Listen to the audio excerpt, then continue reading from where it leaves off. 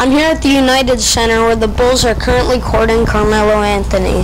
They hope to add him and challenge for the Eastern Conference title in 2014. From the United Center, I'm Jack Davis, ESPN.